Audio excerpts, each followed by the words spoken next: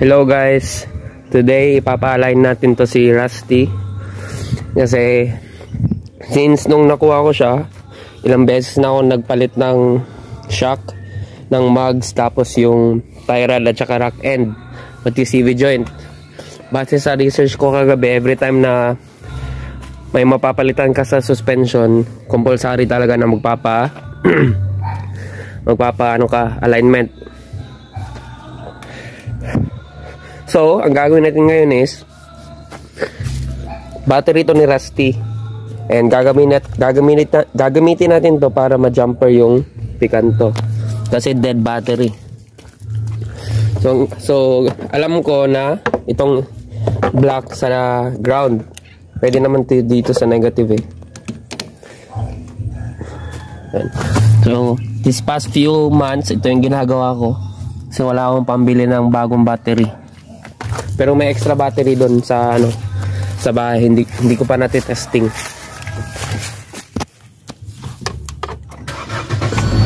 Okay. So ta sa rapide tayo magpapa magpapa ano magpapa align. Ah. Ay, dito pala. I-move muna natin tong sasakyan para makalabas si Rusty.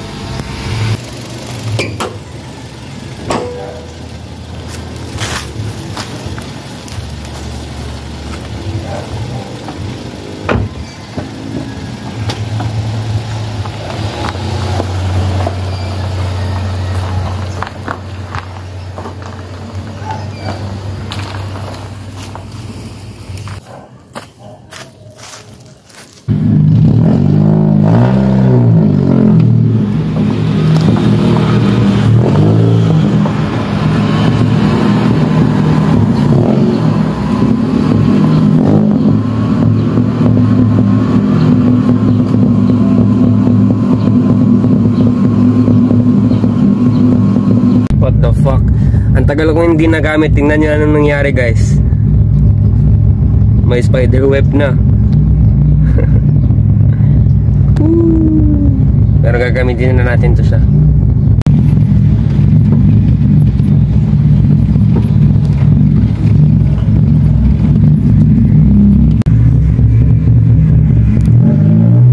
Nakapagpagas na tayo guys sa shell. Kaso ayaw nila tanggapin yung shell up ko, yung shell go dapat kasi 125 eh 100 lang yung pinagas ko. Malapit na tayo sa Rapay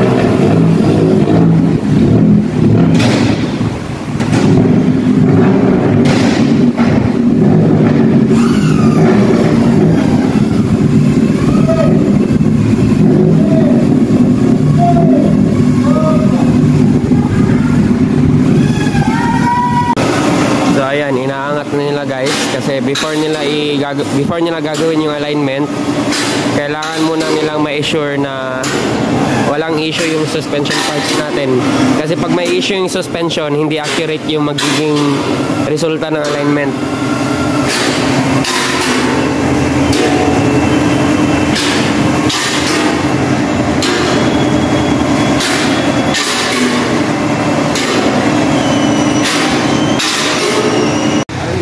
So yun guys, na-check na yung suspension, okay naman. So proceed tayo sa wheel alignment.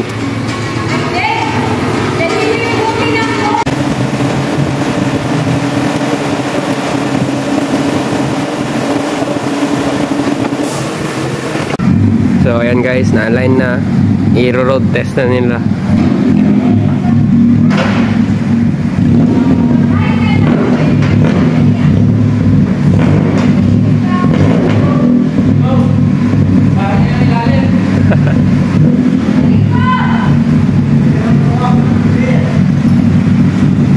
Sumayad sa ilalim.